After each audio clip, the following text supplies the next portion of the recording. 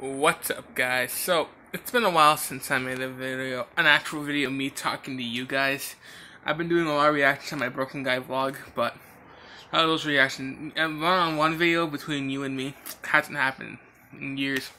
So, I'm just going to talk about my experiences trying a non alcohol product called Coors Light, and RBL had a taste too with me.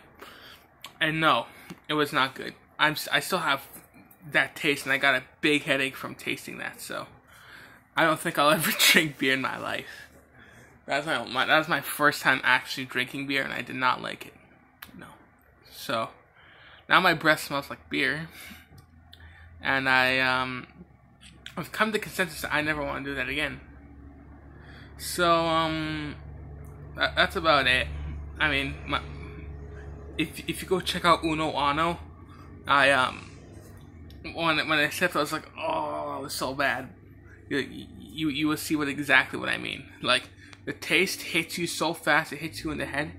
Then then when you swallow, it hits you in the throat, then it hits you in the stomach, and then you suffer for for a little while. Let me know if you guys had beer down in the comments below. But yeah, that was just. Maybe I'll make a more in-depth video on this, but um, yeah, me and RBL tried beer.